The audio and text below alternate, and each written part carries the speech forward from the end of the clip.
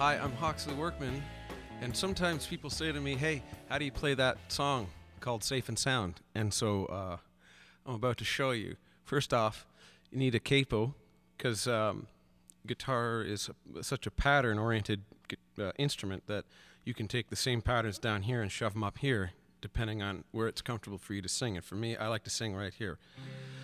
And Safe and Sound goes like this: very simple chords, folk chords, C's, G's, D's, A minors, E minors. There's about six million songs with the same chords, and here and here it is, uh, real slow.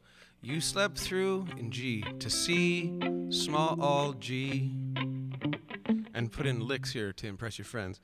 I'll wake you up when the E minor, this feels real sad, comes to town D, kind of resolution. You thought she was going to leave you, but she's not. You see your eyes down, walk down our closed down to the G, and this is the tricky one. Like you truly to the B minor shape. Believe, remember, these are just fake uh, names for these. These aren't really C's and B's. They're C's down here, but up here there's something different. C, safe, and D.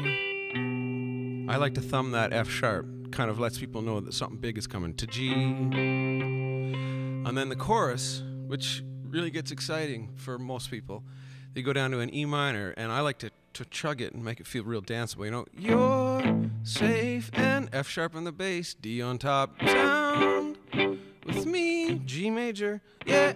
Uh, uh. These are just shapes. Remind, I'm re- reminding you. I'm, it's on music what I'm saying. And then to C, just like you always, to down to the G, just a shape that is like you. I like to make that walk so you know where I'm going, so it's not a surprise. Just like you always will be.